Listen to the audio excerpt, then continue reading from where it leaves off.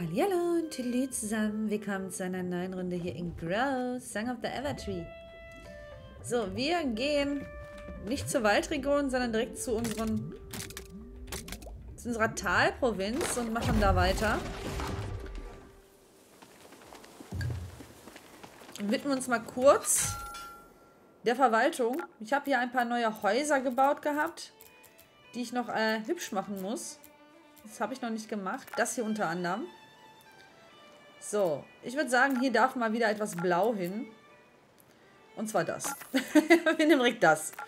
Das finde ich gut.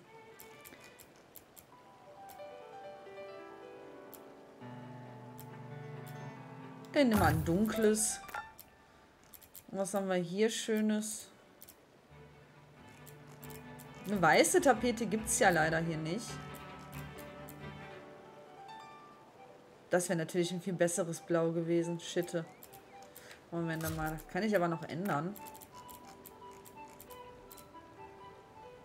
Was ist das? Das hier war es, ne? Ah, die Meerfarbe ist aber auch super. Ja, Meer. So, Wandfarbe nehmen wir... Dann nehme ich die Wandfarbe, das Dunkle. Das ist aber ein ganz blaues Haus. Ach, wir nehmen die Bezaubernden. Natürlich auch eine Haustierhütte. Nein, ich habe keine mehr. Mist, ich habe keine Haustierhütten mehr. Das heißt, schnell einkaufen. Zum Glück haben wir ein Tierchencenter hier. Da hinten will jemand was geschenkt haben. Ach ja. Was schenken wir dem Guten denn? Vielleicht mal einen neuen Hut. Der eine sieht doch doof aus. Hier, nimm den Knappenhut. Oh Gott, das klang weiblich. Bist du eine Frau? Ich kann ja nichts sehen. Ach, ist auch egal. Sei zufrieden mit dem Hut. so.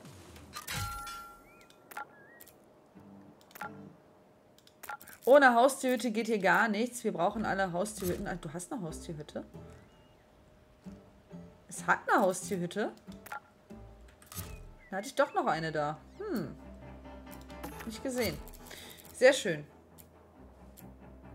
So, dann haben wir noch dieses kleine Haus. Das habe ich schon ausgestattet. Ja, stimmt. Äh, ich hatte die schon vergrößert und ausgestattet, aber noch nicht äh, verschönert. So war das. So, ähm... Moment, ich muss mir erstmal gucken, wie es hier aussieht, wo ich bin. Ja, dann machen wir hier rot. Ja, die nehmen wir.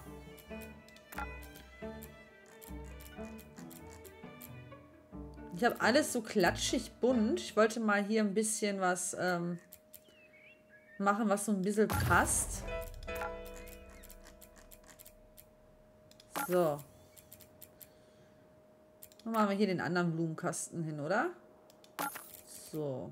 Haustierhütte haben wir schon. Und ich glaube, das war es auch schon, oder? Moment.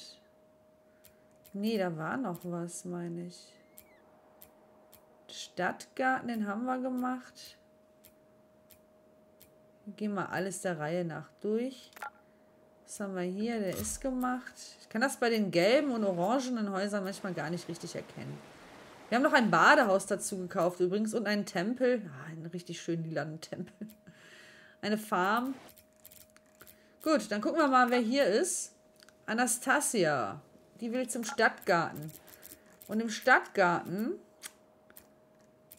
ist leider schon alles voll. Tut mir leid. Hector ins Badehaus. Badehaus ist auf gar keinen Fall frei, äh, voll. Da wo der hier ähm, Hector. Wie you.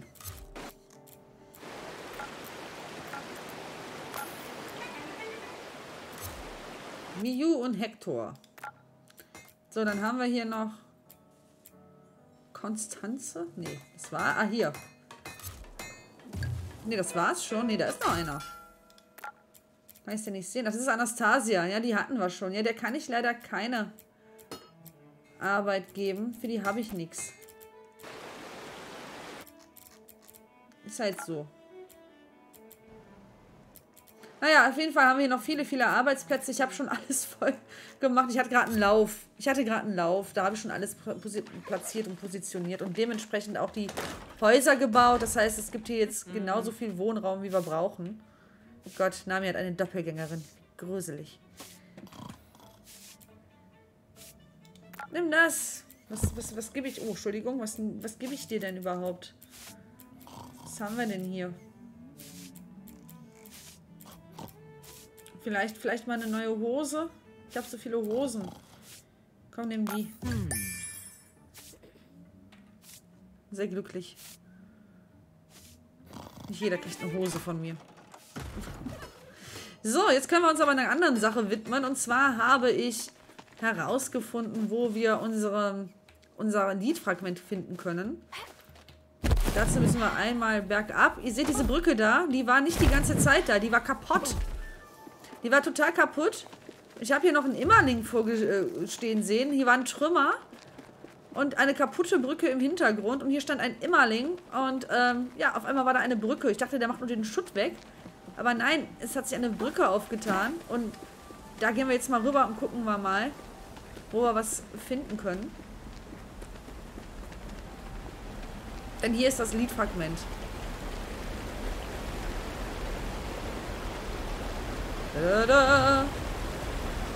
Der Kammer der Dürre.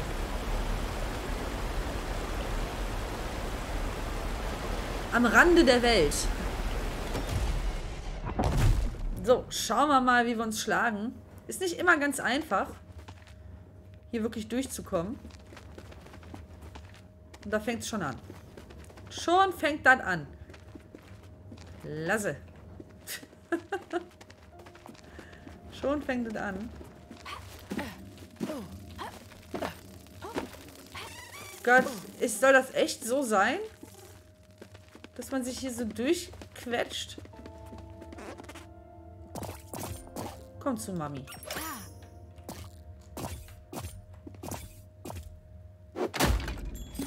Wir machen mal alles kaputt. Wenn wir schon hier sind,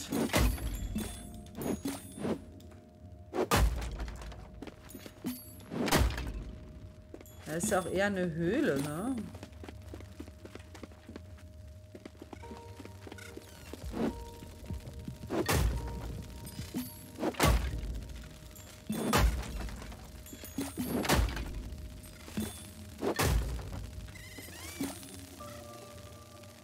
Wir gerade rein, ne? Ja. Also so bin ich auch noch nicht in eine der Kammern hier reingekommen. Indem ich mich erstmal hier so durchquetschen muss. Ach Mist, jetzt habe ich gedacht, ich kann es in die Ecke treiben. Ist es hin? Es ist weg. Ja, und nun? Was ist das denn jetzt? Sag ja, hier stimmt was nicht. Vielleicht sollte ich noch gar nicht hier sein. Aber warum denn? Ich habe doch das Liedfragment hier immer irgendwie Warte mal, ich hatte auf der anderen Seite, glaube ich, noch eine Höhle gesehen. Vielleicht muss ich erst in die Höhle. Und dann komme ich zur Kammer oder so. Ich weiß ja nicht. Ist jetzt nur so eine Idee. Aber hier ist ja nichts zum Aktivieren oder so. Wir gehen mal eben nach oben. Da oben war eine Höhle. Die hatte ich noch gesehen beim letzten Mal. Bin ja schon mal hier rüber, wo ich die Brücke entdeckt hatte. So, ich meine, die wäre hier. Vielleicht muss ich hier erst irgendetwas tun. Wo war die denn jetzt? War die echt auf der anderen Seite? Flöpp. Gefährlicher Weg hier.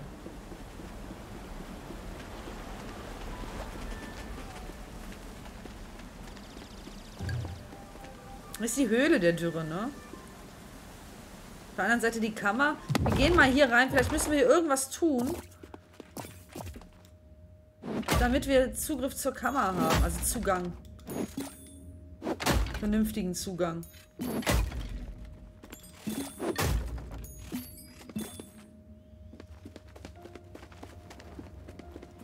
Es sieht ja auch schon aus wie da unten in der Kammer auch. Ich wette, da ist irgendwas.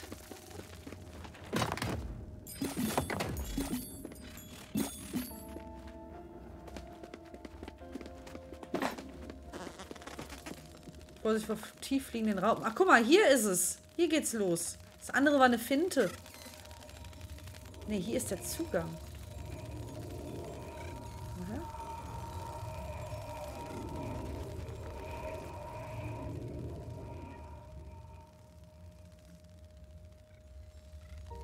Da ist so ein, so ein Würfelchen. Ach, mein Stuhl knarzt ganz schön. So, da sind die Sockel. Und wo ist das andere Würfelchen? Das habe ich jetzt nicht gesehen. Naja, vielleicht brauche ich erstmal nur das eine.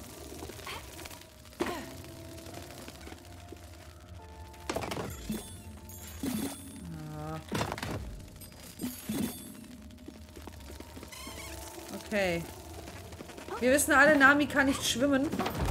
Sie hat es leider nie gelernt.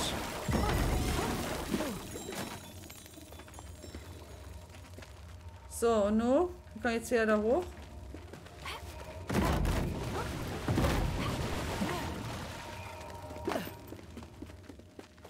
Das war jetzt zumindest schon mal das eine Ding. Da ist der andere. Eigentlich gar nicht so schwer.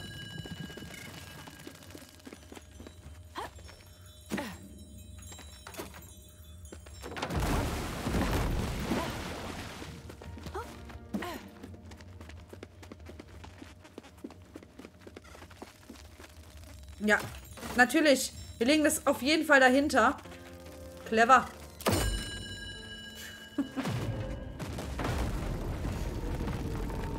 so, da öffnet sich jetzt was.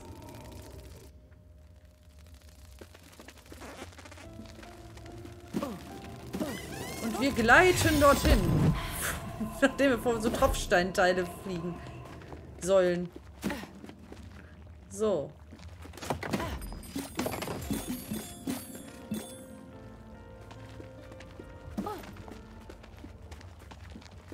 Der Witz ist ja, wenn ich diese Höhle vorher nicht zufällig entdeckt hätte, hätte ich wahrscheinlich ewig mich in der Kammer aufgehalten, weil ich nicht drauf gekommen wäre, dass, das, dass man noch mal raus muss irgendwie. Oh, ein Blob. Oh, ganz viele Blobs. Her, Blobby. Ah, ich habe ihn erwischt. Mist. Ich habe gedacht, ich hätte ihn noch gar nicht erwischt gehabt. Deswegen hatte ich den Köcher noch nicht draußen.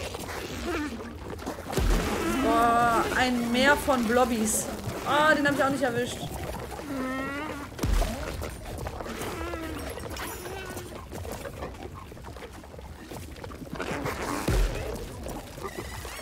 Mein Gott, es sind so viele.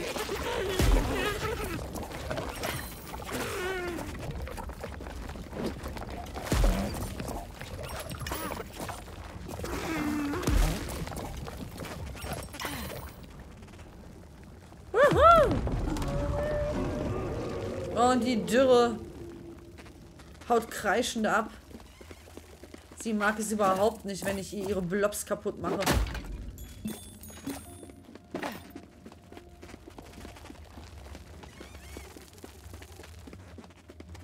Na! Guter Schirm.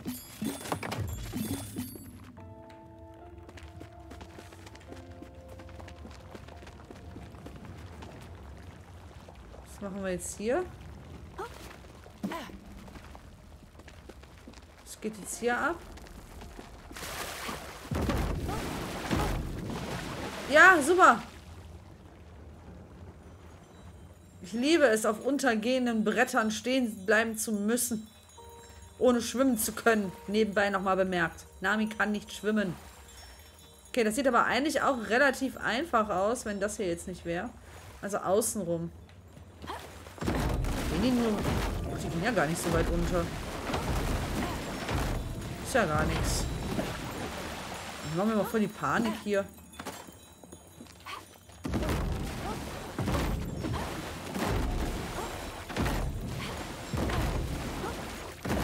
Wahrscheinlich je tiefer es runter geht, desto tiefer gehen die auch runter. Ich will es nicht auste austesten, bitte nicht.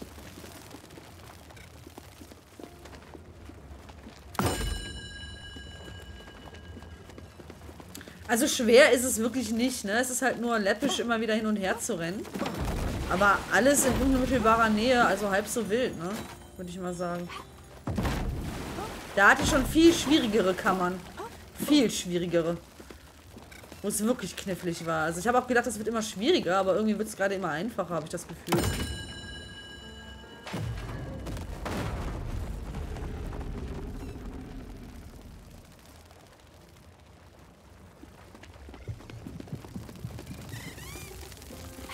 Blubdiwupp.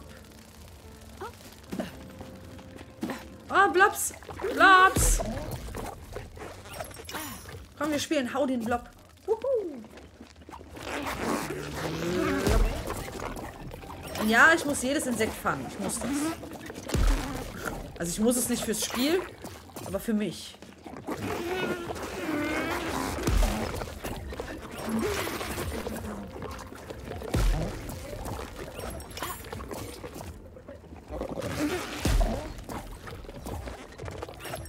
Ah, knapp. Her, du Blobbiger, du. Oh, ein Schatz.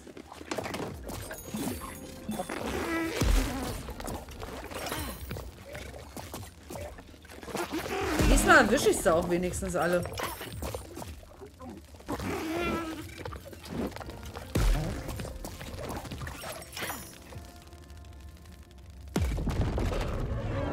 Und wieder.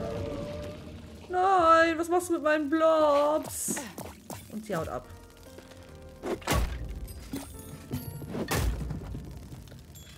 Da blobbt uns zu, ihr nicht. Ich liebe das Wort Blob. Blob, blob, blob, blob. So. Da sind wir gerade runter. War doch hier. Oder, oder wo sind wir lang? Moment mal. Ach Gott, ich hasse es durch Höhlen.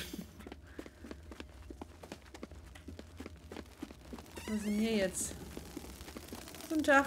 Ah, okay. Ich war hier richtig, hoffentlich. Okay, das sieht schon etwas anspruchsvoller aus, wenn man mal was sehen würde. Ach, da ist das Liedfragment. Wir haben es schon gefunden. Okay, das war wirklich eine sehr, sehr einfache Höhle. Und da geht's dann raus. Und das ist dann wahrscheinlich bei der Kammer.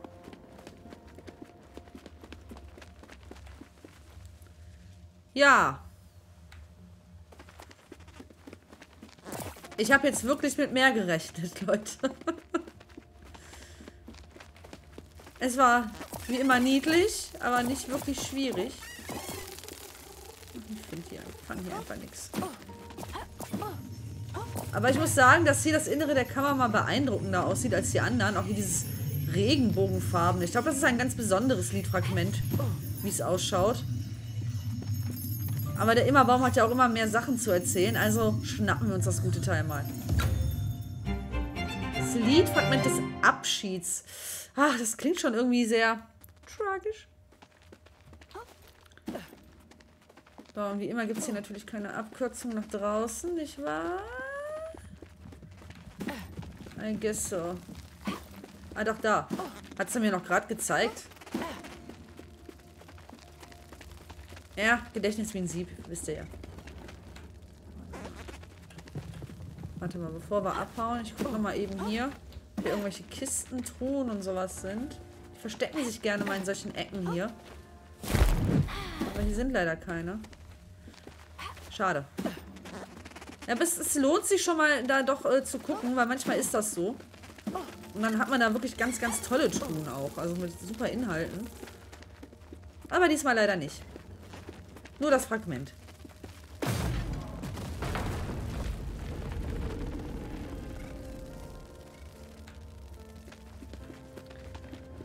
Na, das ist der Anfang von der Kammer. Seht ihr? Und hier kann man jetzt raus. Ich hatte mich ja noch so gewundert, dass ich mich da durch diese Dinger quetschen musste. Das war gar nicht vorgesehen, dass ich schon so weit kam. Weit, ne? Aber So, und hier können wir jetzt raus.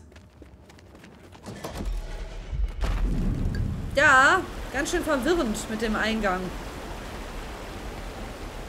Wie gesagt, hätte ich nicht zufälligerweise diese Höhle vorher noch entdeckt, hätte ich da, wäre ich da auch nicht so einfach drauf gekommen.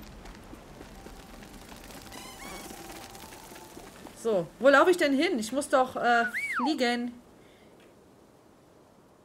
Also ich muss nicht, aber ich tue es. so, zum Alchemiehaus, denn dort haben wir die Baumherzkammer. Und ich bin schon gespannt, was der Immerbaum jetzt wieder zu erzählen hat. Ihr wisst, der, ähm, ich lese leider nicht so schnell, wie das immer da gezeigt wird. Ich gebe mir immer Mühe, das zu machen, aber ihr könnt es ja im Grunde auch selber lesen, wenn ihr es da seht. Trotzdem versuche ich mal hinterherzukommen. Da oben, da ist er. Der Sockel. Und ich glaube, es ist tatsächlich der vorletzte, oder? Wir schauen uns mal eben ganz kurz um. Ja, nur noch der Sockel hier fehlt dann. Dann haben wir es geschafft, wie es aussieht. Ich guck mal eben hier. Die sind alle schon platziert. Es ist nur noch der eine, der dann fehlt. Und dann haben wir den Immerbaum geheilt. So, schauen wir mal, was er zu erzählen hat. Ich bin schon gespannt.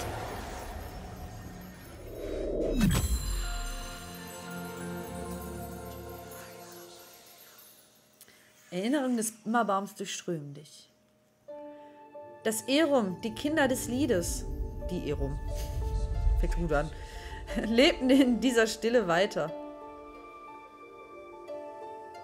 Sie saugten weiterhin das verbliebene Miora aus der Welt aus. Für sie hatte das Lied nie aufgehört. Sie waren sich der Dürre noch nicht bewusst. Langsam, mit dem Laufe der Zeit, wuchs die Dürre. Blumen verwelkten. Bäume verrotteten und Lebewesen versteckten sich. Die Ehren wussten nicht, was zu tun war. Und suchten bei den Alchemisten nach Antworten. Je mehr Miora sie verbrauchten, desto stärker wuchs die Dürre. Und mit der Zeit strahlten die dunklen Ranken ihrer Heimat wieder nicht so schnell. Als es viel zu früh für sie wurde, ließen sie Alaria im Stich. Als es zu viel für sie wurde, nicht zu früh. Sie ließen mich im Stich.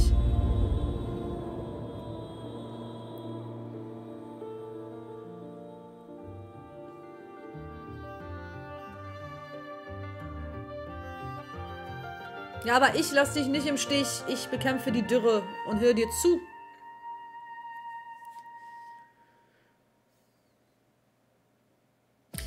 Ja, es dürfte eigentlich eine neue Baumwelt wieder entstehen. Also, beziehungsweise Platz für eine neue Baumwelt entstehen.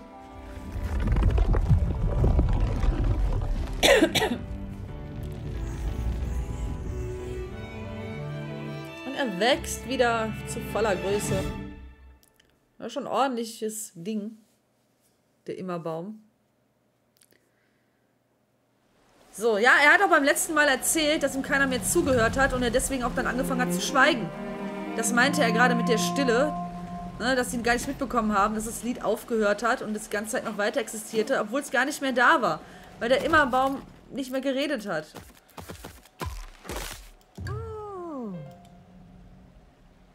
Und so konnte sich dann halt die Dürre ausbreiten durch die Gier der Menschen nach Miora. Oder Majora oder wie auch immer. Uh, mein Singradius wurde erweitert. Sehr schön. Ja, und so hat äh, die Dürre halt von Alaria Besitz nehmen können, weil der Immerbaum im Stich gelassen wurde und alleine nicht mehr geschafft hat, gegen sie anzukommen. Aber das Lied ist wieder am Klingen, wie man hören kann. Und fast vollständig. Es fehlt nur noch ein Liedfragment. Und das finden wir dann im letzten Abschnitt. Aber da sind wir noch nicht. Wir müssen erst noch unsere Talprovinz schöner machen. Und das werden wir auch auf jeden Fall noch tun. Also schön ist sie ja schon, aber wir brauchen noch Bewohner, damit wir genug Miora bekommen. Und alles, ja, alle Zufriedenheit halt äh, in diesem Bezirk ausstrahlt. Dann ist er auf 100% und dann kriegen wir auch den nächsten freigeschaltet.